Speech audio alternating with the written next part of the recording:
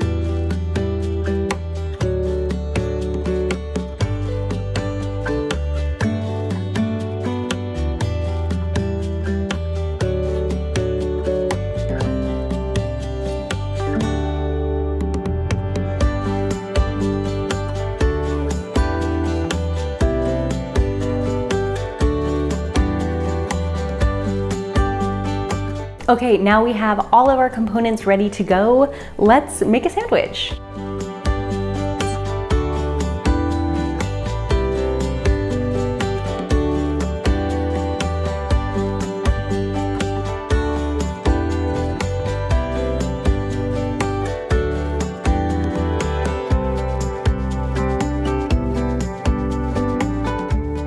I'm just so excited that now we have super easy, ready to go sandwiches for the next few days. As you can see, I'm leaving all the components in their Tupperwares, and then anytime we wanna make a sandwich, we can just take everything out and assemble as needed. Of course, you could also take this sandwich to go. You could just assemble the ingredients the night before, or even the morning of.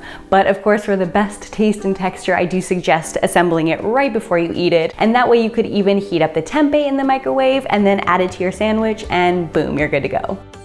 So if you are thinking this banh mi looks super delicious right now, don't forget to hit the like button down below. And if you want the recipe, it is inside the Forks Meal Planner app.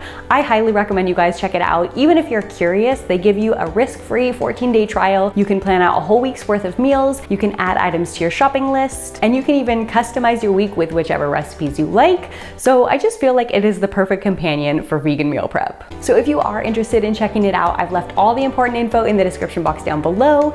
And a huge thank you again to Forks Over Knives for sponsoring today's video. And with that, let's eat plants, and I will see you guys next time.